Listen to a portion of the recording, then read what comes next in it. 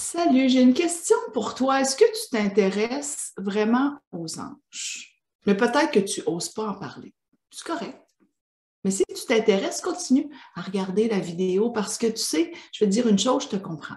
Je l'ai vécu cette période où j'osais pas, je travaillais dans un domaine que j'adorais, où moi, je pensais que ça n'aurait pas été bien accueilli, mais tu sais quoi? Je me trompais.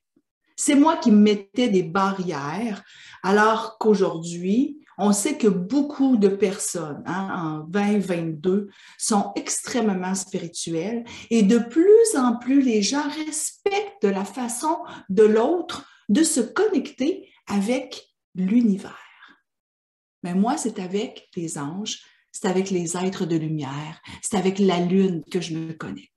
Alors, si tu veux bien connaître cette histoire, te retrouver avec moi pendant 45 minutes, puis avec des femmes qui vont être présentes comme toi, qui sont des femmes qui ont un métier comme le tien, comme le mien, comme bien d'autres, mais viens, c'est le samedi matin au Québec. C'est à 10 heures et c'est à 16 heures à Paris. Et cette séance, je l'appelle la séance en éveil angélique. Je vais te parler de comment tu peux te connecter à plus grand, faire confiance au message angélique et au message des êtres de lumière que tu reçois. Je me présente, je suis Odie Giroux. Je suis coach professionnel certifié, guide angélique. Je suis auteur de l'oracle de Férouz et Odie. Peut-être que tu le connais.